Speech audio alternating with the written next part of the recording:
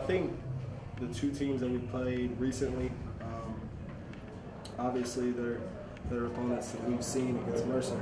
But um, I thought I thought we played well for the most part in the first half. Um, we kind of collapsed in the second half, and that's just you know that's that's stuff you can fix. That's stuff you can live with. That's stuff you can work on. Um, Mercer, we, we let that go. Um, it was a good team that we played, but we let we gave them a lot of things in that game. So I think I think we're ready for conference. I think we did everything that we were supposed to do from you know the first half standpoint. Um, but I feel that we did a lot better job um, with just protecting each other and going out there and playing for each other.